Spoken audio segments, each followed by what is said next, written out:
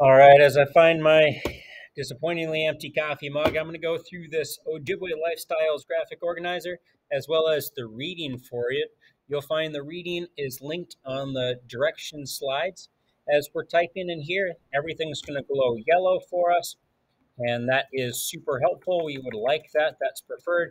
Your boxes will also expand as you're doing your typing, which is going to be nice. There is about 14 questions. After the questions, I'm going to tell you where inside of the article you can look to find the answer. Some of them are going to be specific for like individual seasons, and others are going to be kind of throughout everything. This one is just us talking about it. The questions that we're going to be listening for the Anishinaabe people are sometimes referred to as, and so I know I've got to listen to two other names that the Anishinaabe are referred to. Describing how the Ojibwe used Minnesota's natural resources, this would be best done after I do all of the article and after I do the reading. What is the Mesabe? What's his role in Ojibwe legend? I'll find that in the spring section. Why did the Ojibwe process maple sap into sugar not maple syrup. Why is maple sugaring such hard work? Explain why maple sugar was such an important food to the Ojibwe. What's the preferred way of fishing for the Ojibwe? Why? Would you eat a morel mushroom or cattail roots? This one is in summer, but it's also an opinion question, so it wants to know what you would do. Several fruits and nuts you can find in a Minnesotan forest in the north without refrigeration. Why would they preserve? How would they preserve most of their food? What are two reasons as to why summer is super important? Why does the young Ojibwe hunter wait until his fourth bite to taste the rabbit? And talking about three sentences comparing my culture's family, uh, my my my cultural family food to the traditional Ojibwe cultural family Ojibwe food. All right, here we go. Everything is inside of the reading. I'm going to go through it pretty much with a stop in here. Ojibwe Lifeways. What can we learn today from early inhabitants of Minnesota who gathered and hunted wild food to survive? And this one's by Anton Treuer. This was published in the uh, Minnesota Conservation Magazine. For hundreds of years, Ojibwe Indians thrived in the land we call Minnesota. They survived cold, harsh winters without modern inventions such as electricity, central heating, and grocery stores. How did they do it? The secrets to Ojibwe life began with a deep respect for the land and its natural resources. Ojibwe people, also known as Anishinaabe or Chippewa, right here is where I'm looking there first question. Believe that every animal and plant is a being that should be treated with respect. They used tobacco as a way to show the creator that they had not that they were not taking the life of a plant or animal for fun, but because they were going to use it for food, lodging, or medicine. Ojibwe people did a good job of harvesting the things they needed without using them. They took only enough fish and other animals grouse, deer, rabbits, moose, elk, and caribou to feed their families. Another secret to Ojibwe survival was the strong belief in hard work. Fishing and hunting can be fun, but there's no guarantee of success. You must try and try again to catch a fish or shoot a deer or snare a rabbit. Imagine hunting and fishing to keep your family from going hungry. Ojibwe people worked hard to survive.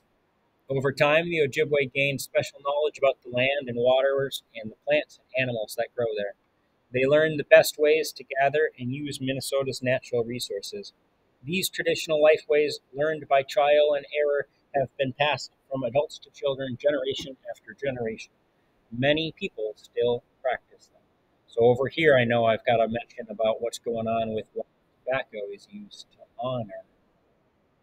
And this is a picture of some wild rice happening here, dancing on the wild rice. You can see their feet are covered in a bag to protect the wild rice, make sure it's nice and clean, and you would stomp it which breaks the wild rice from the kernel. Spring it, the sugar bush time. This is the author's daughter holding a jar of maple syrup. According to Ojibwe legend, long time ago there was a hungry man stumbling through the woods in the spring, and he grew so weak that he collapsed. Thinking he might die, he offered tobacco and begged the Creator for help. Looking up, he saw a tall, hairy being that the Ojibwe called the Mesabe. The Mesabe held a large knife and used it to cut his leg. As the wound started to bleed, the Mesabe transformed into a giant tree, and the blood turned into maple syrup, maple sap, which began to flow from the tree trunk. The hungry Ojibwe man tasted the sweet liquid. It worked like medicine, making him feel strong again. He showed the miracle of maple sap to other Ojibwe. Everyone agreed it was a sacred gift that marked the end of the starving times in winter. I'm back up at the top, and the beginning of a new season of life. The Ojibwe people learned that sap could be made from the maple trees. Sap. Maple sap must be harvested in spring when the sap is going up the trunk during warm days, back down during cold nights. Gatherers made a small hole in the bark to drain the sap, then collected it in birch bark baskets. In spring, Ojibwe families gathered in a sugar bush, a forest with lots of maple trees. They needed to collect about 40 gallons of sap to make one gallon of maple syrup, and even more to make maple sugar. They hollowed out a log, filled it with maple sap, then they heated log rocks in a fire and dropped them into the trough, the hole in the log, to boil the sap. The sap had to boil for many hours until it thickened into syrup and eventually turned into a light brown sugar. Sugar was easier to keep and carry than syrup, one family might pack out hundreds of pounds of sugar from the sugar book every spring. It would be way easier, I think, to carry something that's a grain, like a sugar grain, than it would be to carry a bunch of liquid, especially hundreds of pounds. For the Ojibwe, maple sugar could mean the difference between life or death. People sometimes went hungry in the winter, and maple sugar provided this from the previous spring, provided calories and nutrients. Maple sugar and syrup have been found to be superfoods that fight disease. Today, Ojibwe people usually use a more modern equipment to make the syrup, but they still see it as a gift from the forest. Here we have the process of the maple sugar sap. One thing that we notice is they're drilling into a tree, and this is going to be the south side of the tree because they need the sap to run up the tree and then down. And when it comes down, it drains out of that hole that they're drilling into the tree. Pound it in the tap, and that tube will collect it, and it's boiled on the stove to process that all down. There's another presentation inside of Google Classroom that we'll use, and we'll just talk about uh, what it's like to make maple syrup. I bet someone in this room already has. Summertime. In summertime, wild food is more plentiful and it's easier to find than it is during spring and winter. Animals such as bears have awakened from hibernation, and birds such as ducks and geese have returned from migration. Fish are abundant, and the Ojibwe use just about every way imaginable to catch them nets, spears, traps, and hook and line. They discovered that nettles, uh, uh, kind of like a could be picked and turned into strong, thin strings that they wove into nets. One net could take hundreds of hours to make, and one storm could destroy a net and all that work. But people kept making nets because the nets made it easier to catch a lot of fish. The Ojibwe took and kept all the species of the fish walleye, whitefish, suckers, sturgeon, and even eel pout. They boiled some of the fish and smoked the rest to save for eating later. Mushrooms and other forest plants become ripe and ready to harvest. Ojibwe people picked mushrooms and they knew that they could safely eat. They also knew which mushrooms could make them sick. The Ojibwe realized that cattail root made a great food. They dug them up, boiled them, and ate them like potatoes. They also dug wild onions and picked grapes, butternuts, hazelnuts, and many kinds of berries. Since they didn't have freezers or refrigerators,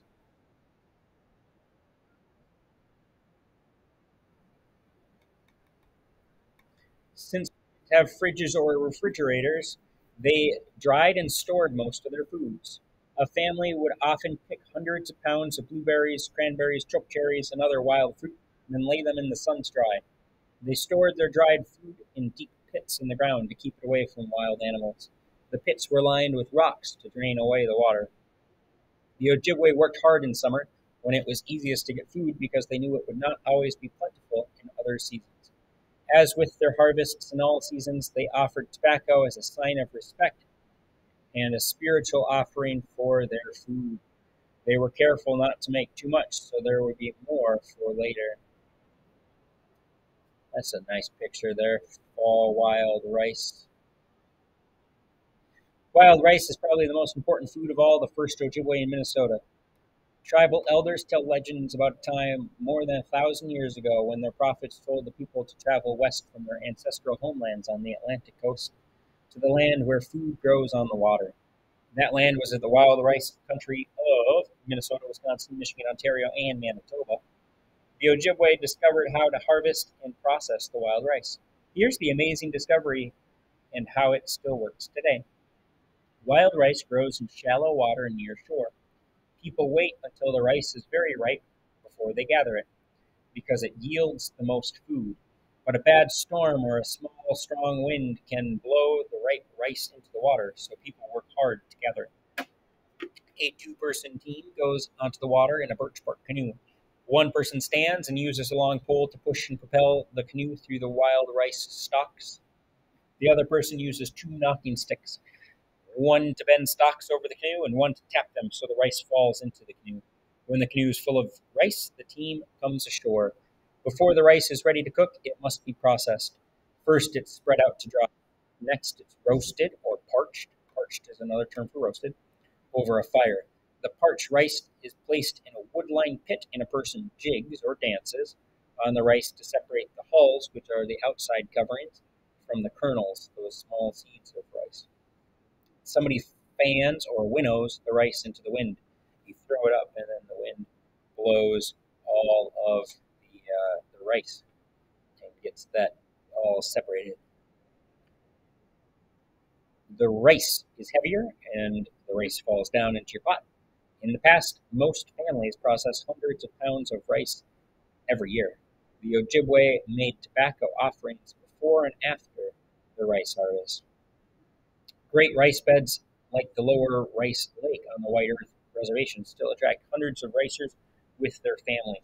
Men, women, and children rice, and in the evenings, the rice camps ring with the sound of people singing and playing mock games. Winters. Snaring rabbits.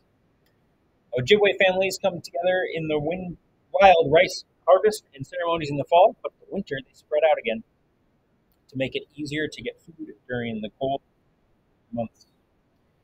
Ojibwe people fish through the rice, through fish through the ice, not the rice, ice, and they trapped for beaver in both the meat or the pelts. They used the stored wild rice, the berries, and the maple sugar to survive. They invented many techniques for hunting, trapping, and snaring wild game.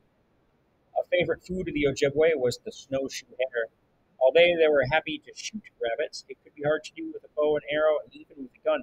Because snowshoe hares are predictable creatures, their paths are easy to see in the snow.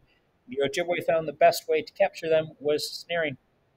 A small fiber rope was made into a noose about the size of a human fist, placed on the rabbit trail. When a rabbit came down the trail, its head would go through the noose and it would become trapped. Today, Ojibwe people still use wire snares rather than the rope made from natural fibers. Then the purpose there is the wire is smoother and it will snare quicker, which causes less pain rabbit, hopefully. When Ojibwe people killed they offered tobacco to the animal, thanking it to give its life to provide food. They used all parts of the rabbit. The meat was eaten along with the heart and the liver. The stomach contents were saved and used for medicine. The hide could be used for lining moccasins, or they might cut the rabbit skin in spirals so long, thin strips could be curled into fur tubes that he would then weave together to make a double sided fur blanket. When an Ojibwe boy or girl kills his first or her first rabbit, friends and families hold a huge feast. The rabbit is roasted or boiled, and the hunter is offered a spoonful of the meat. But the hunter has to refuse the first bite, saying, No, I'm thinking of the children who have nobody to provide for them. Then they offer the hunter a second bite, and he again refuses, saying, No, I'm thinking of the elders who cannot get into the woods to hunt for themselves. They offer a third bite. The hunter again refuses. No, I'm thinking of my family, my community, and the people who come here today to support me. The hunter is offered a fourth bite. Then he or she can eat. the killing of a rabbit marks the first transition from childhood to adulthood, from someone who only eats food to one who also can provide it. It's an introduction to the basic Ojibwe teachings of food and survival. The Ojibwe survived in Minnesota woods for countless generations because they developed a special knowledge, culture, and respect for the natural world. And in spite of many changes in our modern society, a lot of people, a lot of Ojibwe people still carry on these traditions if you would like to learn more about the traditional Ojibwe culture and history, you can look for books like Ojibwe in Minnesota, everything you wanted to know about Indians but were afraid to ask. You can also look for traditional skills workshops, our local community and library, tribal programs, or universities, or visit any of the displays at Minnesota's historic sites or our local historical society. That was a good article. Learned a lot.